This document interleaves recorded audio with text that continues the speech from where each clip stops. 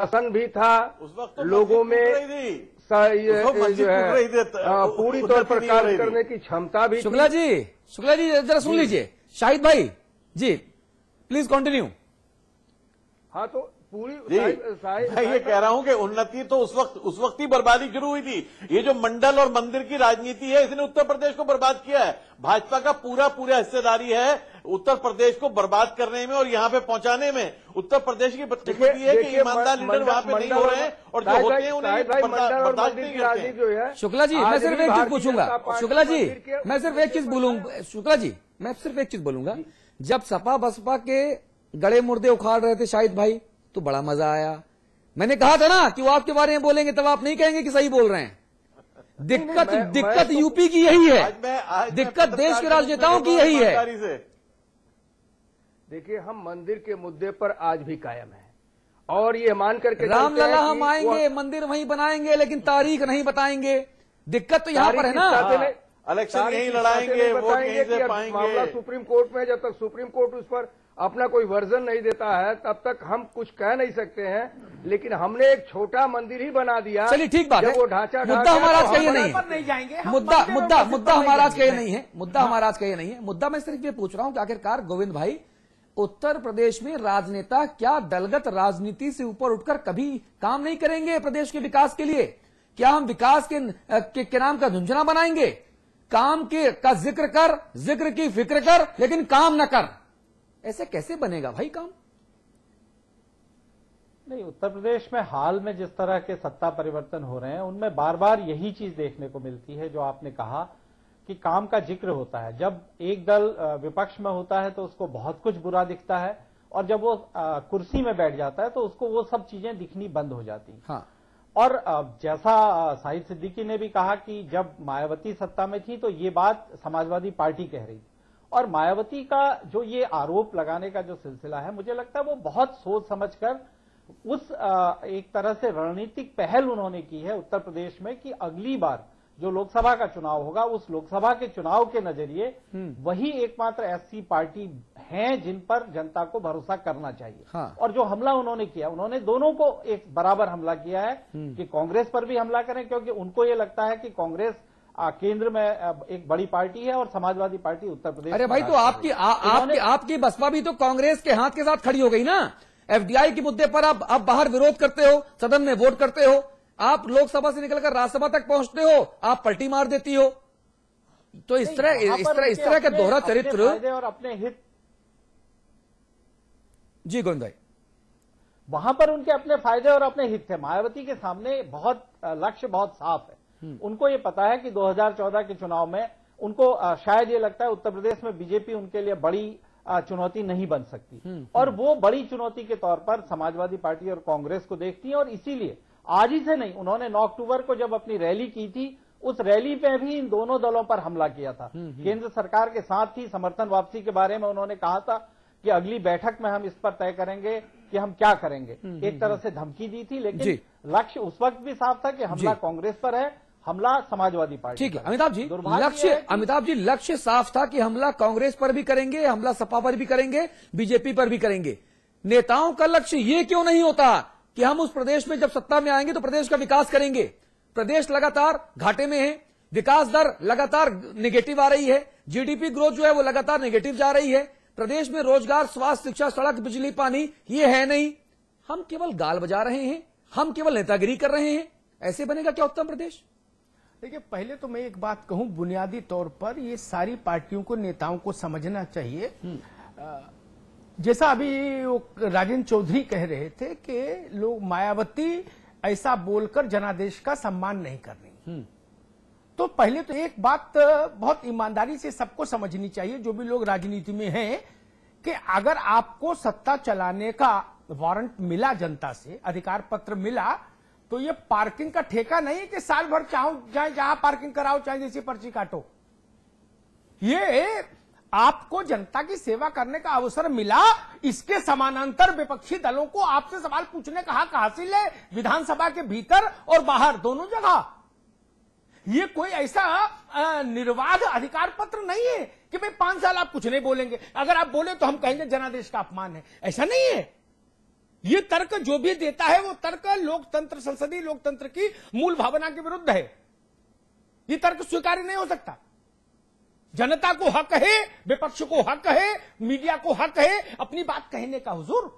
पाँच साल अगर चुपचाप आपको दे दें और अगली बार पाँच साल बहन जी को दे दें और फिर अगली बार पाँच साल भैया जी को दे दें तो उत्तर प्रदेश तो बूढ़ा हो जाएगा और कोई आवाज़ नहीं उठाए, ये नहीं। क्या हुआ कल्याण सिंह की सरकार में? क्या हुआ गोविंद बल्लभ पंत की सरकार में? उसको जाने दीजिए, वीर बहादुर की सरकार में और श्रीपति मिश्रा की सरकार में। हम बात करें आज की। आज की सरकार से बड़ी अपेक्षाएँ थी। विदेशी अखबारों ने भी बहुत अच्छी टिप्पणियाँ लिखी थी। अखिलेश जी ने देश में किसी अखबार को इंटरव्यू नहीं दिया, लेकिन एक विदेशी अखबार को उन्होंने इंटरव्यू दिया। एक अमेरिकन अखबार को उन्होंने इंटरव्यू दिया। और उसमें अपनी प्रायोरिटीज बताई तो उस अखबार ने बहुत सम्मानपूर्वक छापा। और प्रदेश को भी अपेक्षाएँ थी। इसीलिए जब क्रांति रथ पर एक नौजवान चेहरा दिखा जो लगा के सपा के मूल परंपरागत चाल चेहरे और चरित्र से अलग है तो लोगों ने वोट किया। और ये वोट एमवाई से तो सरकार आई नहीं। उत्तर प्रदेश के एमवाई की लिमिट में जानता हूँ गोविंद पंत जानते हैं कि एमवाई हंड्रेड परसेंट रिज़ल्ट दे हंड्रेड परसेंट नाइन्टी नाइन नहीं तो कितनी सीट आती है? शाहिद सिद्दीकी को पता है शिव प्रसाद जी को पता है। ठीक बात तो ये परिणाम आया जब सबने वोट किया। अक्रॉस द कास्ट लाइन तो आपकी सरकार आई 225 की सरकार आई। वरना उत्तर प्रदेश इतना खंड खंड विभाजित है सामाजिक स्तरों पर कि 225 मिलना बहुत मुश्किल काम है। जब आपकी सरकार आ गई तो आपकी अपेक्षाएँ भी थी। मैं दो बातों का ज़िक्र करूँगा। मैं कभी आलोचना के लिए आलोचना नहीं करता। मैं ये नहीं कहूँगा कि पुल क्यों नहीं बने, बिजली घर क्यों नहीं स्थापित हो गए। दस महीने में ना तो पुल बनता है, ना बिजली घर बनता है। ये भी ठीक है। मैं सिर्फ़ दो बातें कहूँगा। सत्ता का इकबाल नहीं दिखा। दस महीने में जो दस दिन में दिख सकता है। ठीक है। अगर कप्तान ने आज चार्ज लिया और आज उसका इकबाल नहीं बना तो उसका पूरे कार्यकाल में कभी इकबाल नहीं बनेगा ये मेरा अनुभव है। इकबाल बनना होता तो एक महीने में इकबाल दिखता। समाजवादी पार्टी के सबसे ताकतवर मंत्री उत्तर प्रदेश में। मुलायम सिंह जी के सगे छोटे भाई और अखिलेश के चाचा। शिवपाल जी ने कहा कि आईएएस अगर सुधर जाए तो रिज़ल्ट आए। आईएएस बिगड़े हुए हैं दस महीने से आप क्या कर रहे हैं? ठीक बात है। आप आईएएस के बॉस हैं आप उनकी सीआर लिखते हो या शिवपाल यादव की सीआर उनका सेक्रेटरी लिखता है? कौन है बॉस? हमने चाबी किसको सौंपी उत्तर प्रदेश की? अधिकारियों को तो नहीं सौंपी ना? अखंड प्रताप और नीरा यादव को तो सौंपी नहीं चाबी? चाबी सौंपी मुलायम सिंह यादव की पार्टी को। आप पॉलिटिकल लीडरशिप हैं उत्तर प्रदेश का चेहरा है। एक इकबाल नहीं दिख रहा अपराध भारी मात्रा में हो रहे खासतौर पर महिलाएँ असुरक्षा का भाव उनके अंदर गहरा है। ये बात मायावती कहें तो ठीक और मायावती नहीं बोले किसी कारण से तो भी मैं बोलूँगा। तो भी बोलूँगा। मुझे मायावती के सर्टिफिकेट की ज़रूरत ही नहीं। मैं खुद देख रहा हूँ कि उत्तर प्रदेश में क्या हो रहा। और तीसरी बात मैं कहूँगा सरकार एक सुर में नहीं बोल रही। एक सुर में तो सरकार शपथ ग्रहण से पहले यह तय हो जाना चाहिए था कि सरकार एक सुर में बोलेगी पंद्रह मार्च शाम चार बजे से। जी शाहिद सिद्दीकी वो नहीं हो रहा एक सुर में नहीं बोल रही जितने चेहरे उतनी आवाज़। जी। क्या कुछ कंफ्यूजन की स्थिति है? अमर सिंह जो आरोप लगाते हैं कि साहब चाचाओं के चक्रव्यूह में जो मुख्यमंत्री जी हैं वो फंसे हुए हैं। क्या मुख्यमंत्री जी इंडिपेंडेंटली फैसले नहीं ले पा रहे हैं क्या? सरकार का जो चेहरा दस महीनों में उजला जगमगाता होना चाहिए। वो धूमिल नज़र क्यों आ रहा है? आरोप क्यों लग रहे हैं?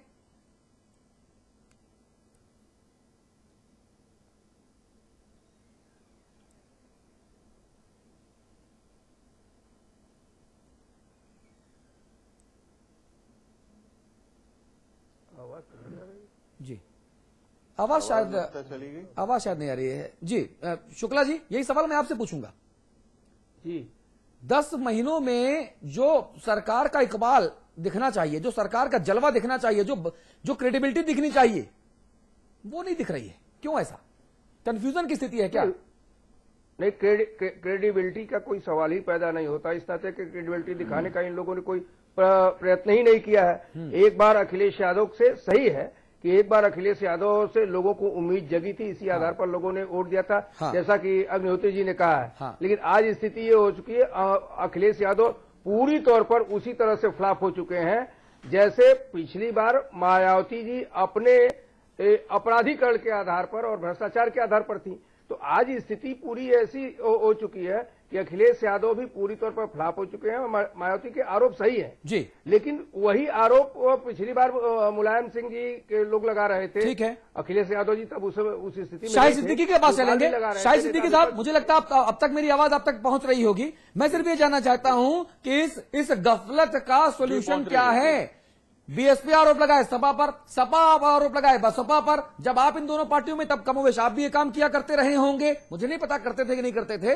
मैं आपको बहुत सुलझा हुआ और विद्वान पढ़ा लिखा नेता नहीं, मानता करते हूँ। हम और शाहिद भाई कई बहसों में सामने आमने रहे। मैंने मैं एक बात बता दूँ कि दोनों पार्टियों से मुझे निकाला गया। मैं निकला नहीं हूँ और जब सत्ता में आई थी तभी निकाला गया। मैं सत्ता छोड़ के निकला हूँ सिर्फ़ इसलिए कि मैंने पार्टियों को देखा कि यहाँ पर काम नहीं हो रहा अंदर पार्टी में आवाज़ उठाई तो ये पार्टियाँ बर्दाश्त नहीं करती यहाँ पर इनका रवैया ये है कि हम आए हैं तो ये हमारा जैसा हमारे भाई ने कहा था कि हमें पार्किंग का ठेका मिल गया आप जो मर्ज़ी करें जहाँ चाहे पार्किंग कराएँ हाँ, इन्हें हाँ। इससे मतलब नहीं होता कि अच्छा, कौन सी पार्टी अच्छी है, तो मुझे बता दीजिए। जब मीडिया में फेस करता हूँ कि मैनिफेस्टो में क्या कहा था उस उस पर बात करने को तैयार नहीं है ये लोग देखिए गड़बड़ क्या है कि उत्तर प्रदेश में जो जवाबदही होनी चाहिए वो जवाबदही नहीं है आज अखिलेश यादव को आपने मखोटा बना के रख दिया आगे हाँ। अखिलेश यादव के नाम पर वोट पड़ा जब अखिलेश यादव ने डीपी यादव को के खिलाफ बोले हाँ। ये थी बुनियादी बात बदलाव की उत्तर प्रदेश में हाँ। मेरे जैसे लोग अखिलेश यादव के साथ आए थे हाँ। ये सोच के कि एक बदलाव होगा उत्तर प्रदेश में हाँ। क्योंकि उत्तर प्रदेश में बदलाव के बगैर हम कुछ नहीं कर सकते हाँ। उत्तर प्रदेश में बहुत बड़ी क्रांति की ज़रूरत तो है बदलाव उत्तर प्रदेश क्रांति कौन लाएगा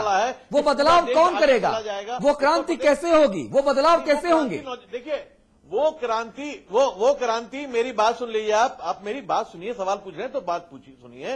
कि वो क्रांति उत्तर प्रदेश की जनता को निकलना पड़ेगा सड़कों के ऊपर। मुझे उत्तर प्रदेश की राजनीतिक माहौल में नज़र नहीं आता कि बदलाव आएगा, जब तक लाखों की तादाद में लोग जिम्मेवारी से निकलेंगे नहीं और जवाबदेही नहीं मांगेंगे। जो भी सरकार हो, आज 225 की सरकार आ गई, उन्हें लगता है कि अब हमारा कोई बिगाड़ नहीं सकता कुछ। हम तो यहाँ पर रहेंगे पाँच साल, इसलिए पाँच साल जो मर्ज़ी करो, जैसे चाहो लूटो, खाओ। सारे जो चाचा लोग हैं वो आ गए हैं लूटने खाने के लिए। अखिलेश बेचारा जो है वो काम नहीं कर पा रहा है। उसकी उसकी बात नहीं चल रही है। तो आपके हिसाब से कौन सी पार्टी सबसे बेहतर है? निकली है दिल्ली में आज रेप के खिलाफ निकली है। क्या रेप पहले नहीं हो रहे थे? जी पार्टी इस वक्त कोई बेहतर नहीं है उत्तर प्रदेश के अंदर। कांग्रेस की कोई हालत नहीं खड़े होने की। भाजपा की हालत भी खराब है। भाजपा के बाद लीडर यानी प्रदेश की- अगर प्रदेश की जनता राम भरोसे। और बसपा लेकिन इन दोनों का हाल यह है कि ये दोनों उत्तर प्र... उत्तर प्रदेश का मुझे भविष्य बहुत अंधेरे में नज़र आ रहा है फ़िलहाल। जब तक उत्तर प्रदेश का मेरा मैंने शुरू में कहा था कि उत्तर प्रदेश को बांटना पड़ेगा।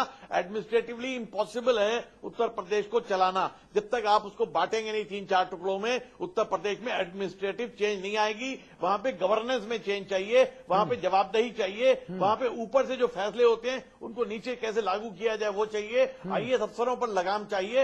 ये सारी करने की क्षमता न तो अखिलेश यादव में है न उनके चाचाओं में है और न मुलायम सिंह जी में है आज। और नतीजा यह है कि उत्तर प्रदेश बिल्कुल तेज़ी से बर्बादी की तरफ़ जा रहा है। पार्टी भी चार पाँच हिस्सों में बटी हुई है। सरकार भी चार पाँच हिस्सों में बटी हुई है। कोई एक नेता उत्तर प्रदेश में नहीं है। जी। जब इतने सारे सारथी होते हैं किसी गाड़ी के तो वो गाड़ी कभी सही रास्ते पे नहीं चल सकती। अच्छा इस वक्त मुझसे मुझे आपसे बात करके बहुत बहुत अच्छी फीलिंग आ रही है। ठीक वैसे ही जैसे भगवान राम को विभीषण से बात करते वक्त फीलिंग आई होगी। अंदर की पूरी जानकारी आप दे रहे हैं। समझिए आप लेकिन जी?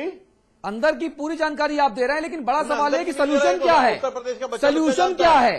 मेरे भाई उत्तर प्रदेश का बच्चा बच्चा जानता है ये अगर आपको नहीं मालूम था तो मैं हैरान हूँ।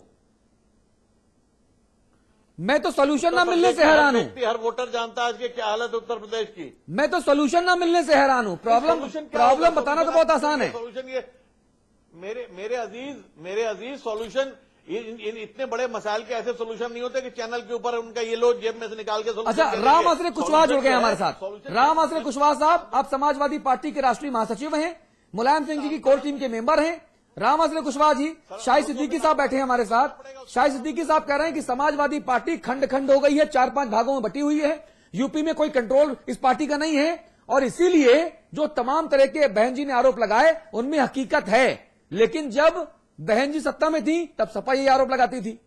यानी प्रदेश का भगवान मालिक है खुदा मालिक है।